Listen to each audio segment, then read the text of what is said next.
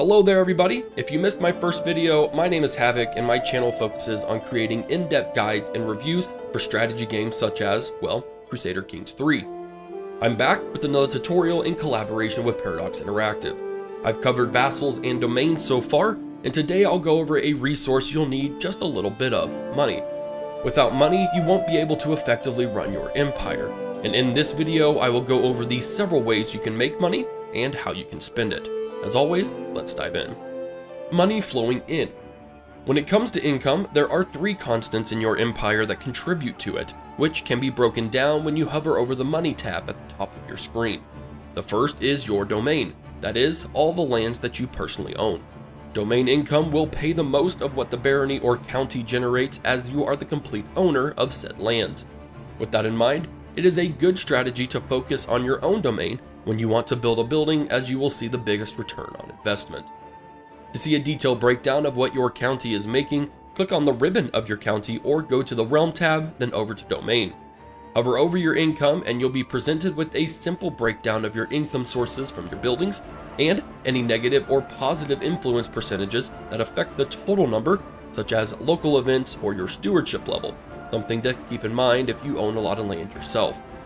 However, Due to the rather static nature of the domain limit we discussed in the last tutorial, you will need to rely on vassals for expansion and income growth, which leads to the next constant, vassal taxes. Vassal taxes are of course the taxes generated by all of your vassals, and each one provides a percentage of their own income to their liege.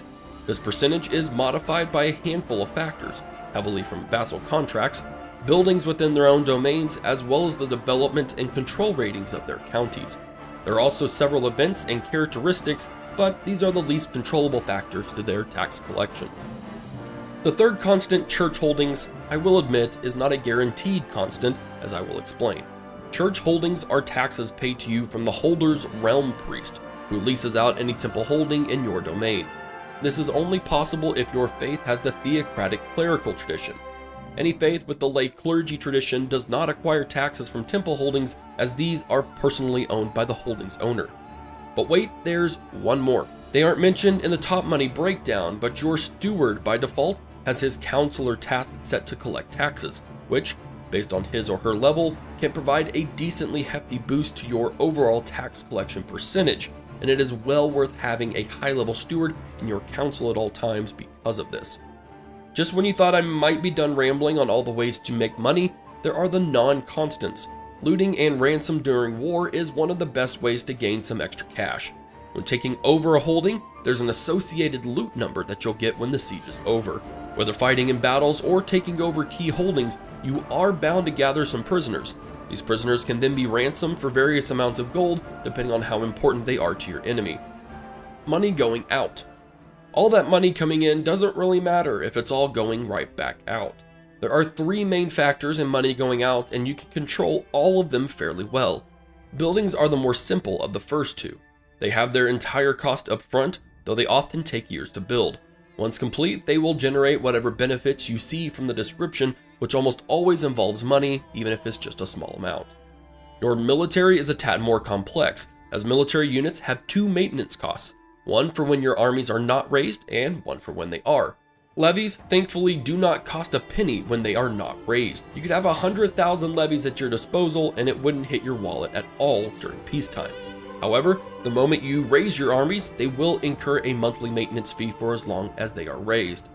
Men-at-arms are a bit different. For starters, they require gold to even recruit, as these are more professional soldiers, not just common folk. Once recruited, they will have an unraised maintenance fee per month. That maintenance fee is exactly one third of the price from its raised amount. This is extremely important to consider at all times. You may feel like you can support a large number of men-at-arms during peacetime when the money is rolling in, but the second you raise your armies, you will be hit with three times the money from your men-at-arms on top of the levies.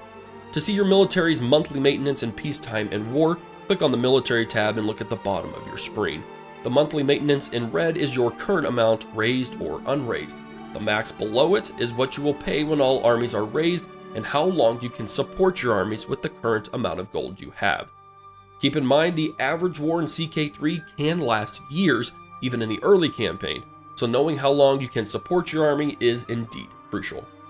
And lastly, for expenses, titles. Titles can be created when you own enough lands to de jure claim it. Titles will always cost you gold, and the cost goes up the higher the title.